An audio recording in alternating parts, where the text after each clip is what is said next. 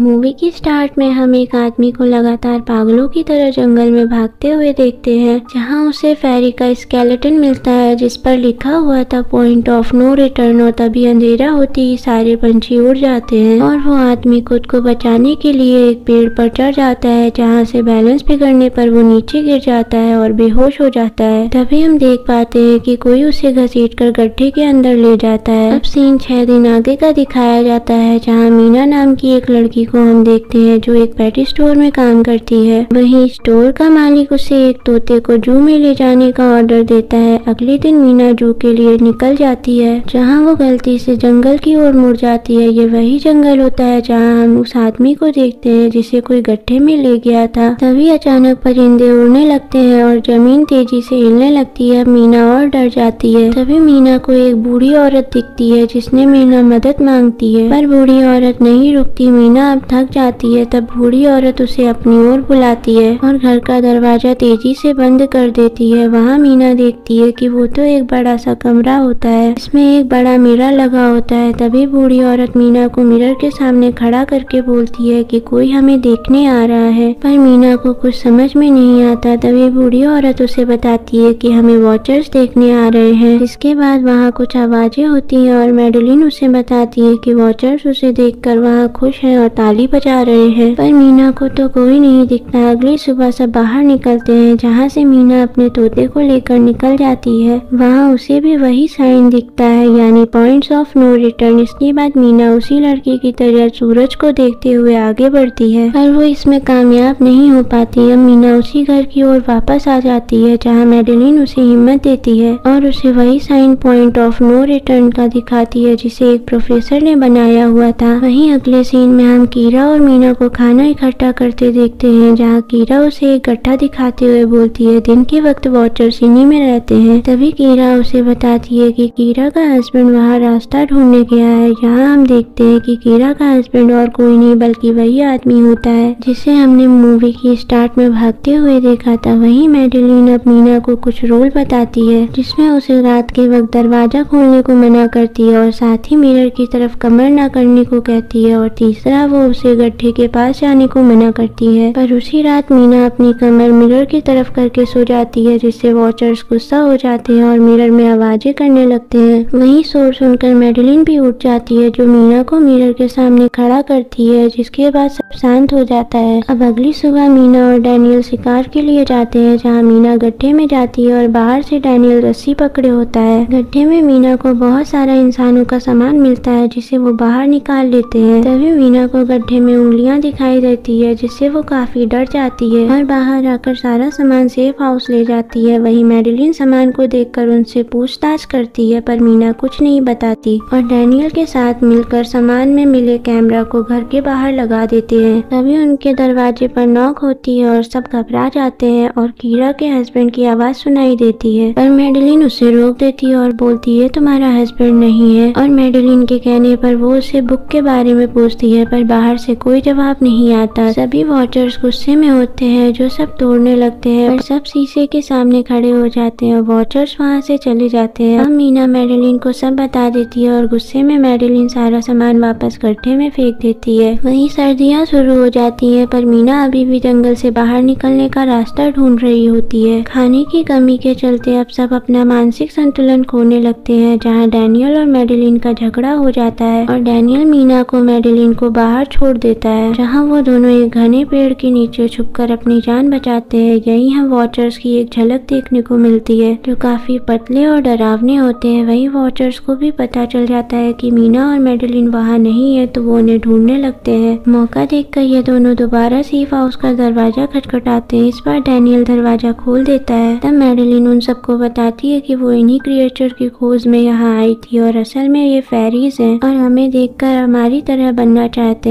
तभी वहाँ वही वॉचर्स आ जाते हैं और दरवाज़ा ज़ोर ज़ोर से खटखटाने लगते हैं। तो डैनियल को फर्श में एक जगह ऊपर नीचे लगती है। अब सारे लोग उसी बंकर के अंदर चले जाते हैं और बंकर का दरवाज़ा बंद कर लेते हैं। बंकर के अंदर बहुत सारे खाने की सामान्य टेक्नोलॉजी और सामान मौजूद होता है। वही मीना को एक कंप्यूटर मिलता है, जिससे उन्हें पता चलता है कि यह जगह डॉक्टर मार्टिन द्वारा बनाई गई थी। वहाँ मीना को बहुत सारी वीडियोस देखने को मिलती हैं, जिसके बाद आखिरी वीडियो में उन्हें जंगल से बाहर निकलने का रास्ता मिल जाता है। इसके बाद सब खुश हो जाते हैं। वहीं बंकर से बाहर आने में वो देखते हैं कि सब तबाह हो चुका है। तभी सब आगे बढ़ते हैं और मीना यहाँ अपने तोते को छोड़ देती है, जिसके पीछे चलते हुए यह सब जंगल से निकल आते हैं और नदी तक पहुँच जाते हैं। और तभी डैनियल मार दिया जाता है बाकी सब कुछ नहीं कर पाते हैं। वही मीना डॉक्टर मार्टिन की रिसर्च को खत्म करने जाती है, जहाँ उसे मेडलिन का सच पता चलता है कि वो एक हाइब्रिड फेरी है। इसके बाद वो कीड़ा के पास जाती है, जो कि असल में एक मेडलिन होती है और मेडलिन असली कीड़ा को बेहोश कर देती है और मीना की तरफ़ बढ़ती है। तब मीना मेडलिन को सच बताती है कि वो एक हाइब्रिड पैरी है, जिसके बाद मेडलिन का जादू वापस आ जाता है और वो वहाँ से उड़ जाती है। वही मूवी के अंत में हम देखते हैं मेडलिन को, जो एक बच्ची के रूप में इंसानों के बीच में रह रही होती है।